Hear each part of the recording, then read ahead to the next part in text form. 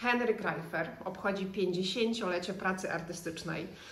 Henryku, czy te 50 lat minęło jak jeden dzień? Czy pamiętasz wszystko dokładnie, co się działo? No, wszystkiego na pewno nie pamiętam. Za, za, za duży okres czasu, 50 lat. No pamiętam wiele szczegółów. Oczywiście pamiętam ten dzień, w którym przyjechałem do Warszawy.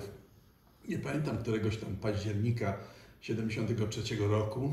E, po właściwie zdaniu matury i po chwilowym studiowaniu na Politechnice, ale tylko dwudniowym. No, pan dyrektor Szumiej tak zadziałał, że w końcu postanowiłem jednak być e, w Teatrze Żydowskim. No pamiętam ten pierwszy dzień, zobaczyłem ten budynek piękny na Placu Grzybowskim, scenę, małą scenę, E, a z dyrektorem Szurmiem się trochę wcześniej znałem, e, bo spotkałem się z nim e, podczas koncertu moich sióstr, gdzie on był reżyserem mm, programu w zespole Roma.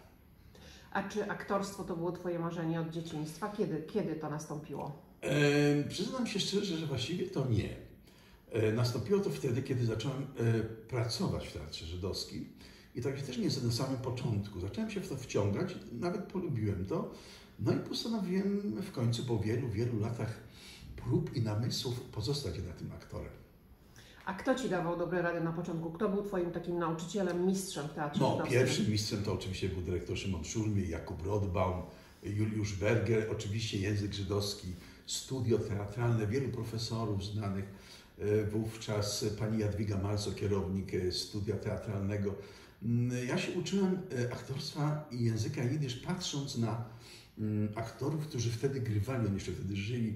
Była cała plejada znanych, dobrych żydowskich aktorów i ja się od nich uczyłem i podpatrywałem, że tak powiem, aktorstwo i język i styl grania. Jak ja patrzę na Ciebie na scenie i widzę, jak grasz widzisz, to mam wrażenie, że to jest dla Ciebie tak naturalne jak język polski. Czy Ty czujesz jakąś różnicę w graniu między y, w języku polskim czy w języku jidysz, czy zupełnie nie? No w języku jidysz mm, właściwie granie jest takie samo, tylko język jest inny.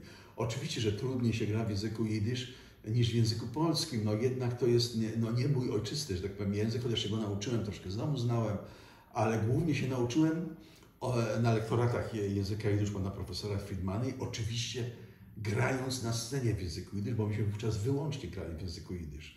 E, nawet przyznam się szczerze, że po wielu latach, kiedy przeszliśmy na język polski, miałem takie problemy, ale potem zaskoczyłem.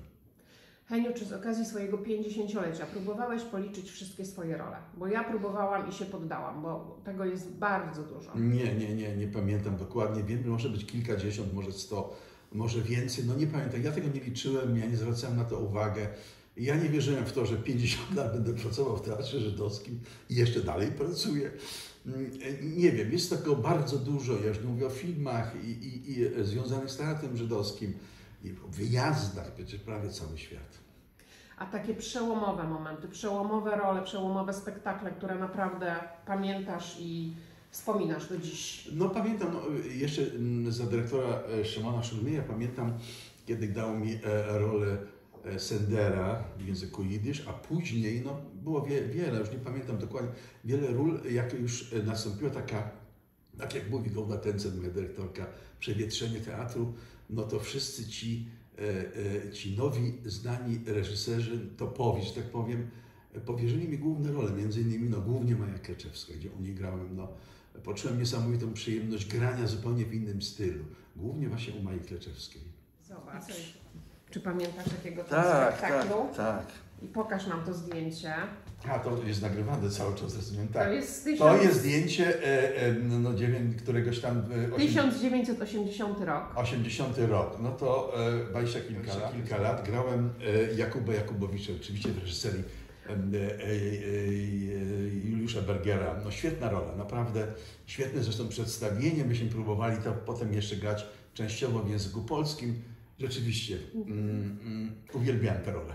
A co byś powiedział temu młodemu chłopakowi ze zdjęcia? Jakie rady byś mu dał? Bo to był początek Twojej kariery, 80 rok. No właściwie nic specjalnego. Ja nie żałuję niczego i, wiem, że czuję, że postępowałem dobrze. E, chociaż miałem pewne kryzysy, przyznam się szczerze, że dwa razy zdawałem, znaczy za drugim razem zdawałem egzamin. Miałem problemy za pierwszym razem i dzięki Szurmijowi pozostałem w teatrze. Ale nie, tak że ni, prawie że niczego bym nie zmienił. Ja nie wchodzę w swoje prywatne sfery.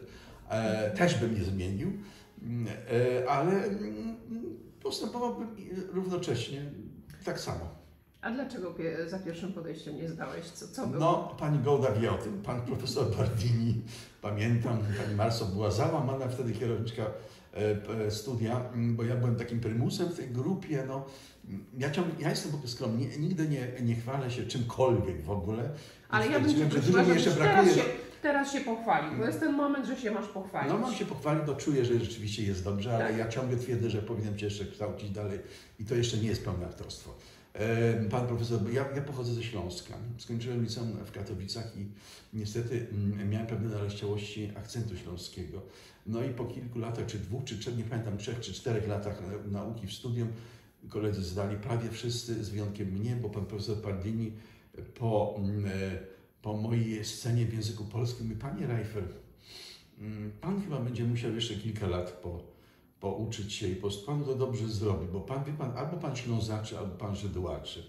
E, Znaczy nie było to Żyd, bo to było Ślązaczenie, a potem walczyłem strasznie przez wiele lat z tym akcentem, no i dało mi to mm, dużo dobrego, to kolejne studiowanie przez 4 lata, oczywiście potem już zdałem egzamin eksternistyczny, byłem aktorem, chociaż w 73 roku dyrektor szkoły, ponieważ nie miał nikogo prawie, że w teatrze z młodych aktorów, mm, y, dał mi dyplom aktora, wewnętrzny dyplom aktora Teatru Żydowskiego, czyli byłem aktorem już w 73 roku.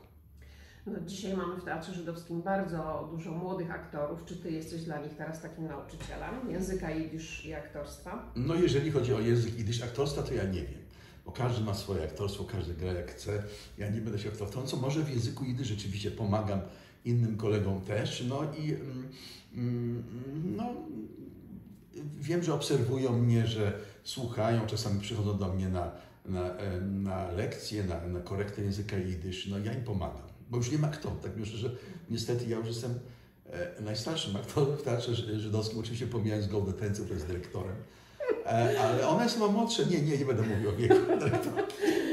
No. E, Także, mm, mm, ale się jeszcze nawet, mm, mam nadzieję, że jeszcze trochę pogram. no właśnie, bardzo to jest piękne, co powiedziałeś, że niczego nie żałujesz. Nie, E, nie, nie, A czego. Ci życzyć z okazji tego 50-lecia pracy artystycznej? Czego byś, o czym jeszcze marzysz zawodowo? Nie no, marzę o tym, żeby jeszcze e, mieć jako taką kondycję w tworzeniu ról. Przede wszystkim, no, ja już nie mówię o tym, że trzeba zdrowie do tego e, w tym wieku powyżej, bo już tak za kilka miesięcy, trzy miesiące kończę 70 lat, e, żeby mieć kondycję do mm, grania dużych ról, bo mam pewne propozycje, ale ciągle jeszcze mm, zastanawiam się, czy podołam. Przede wszystkim chodzi o e, sprawę pamięci. No, w pewnym wieku już nie jest taka pamięć, jak kiedy kiedyś chłonąłem role główne w 3-4 dni. Teraz to wymaga trochę większej pracy. No, mam nadzieję, że z tym się uporę. To tego Ci wszyscy życzymy. Dziękuję Ci bardzo.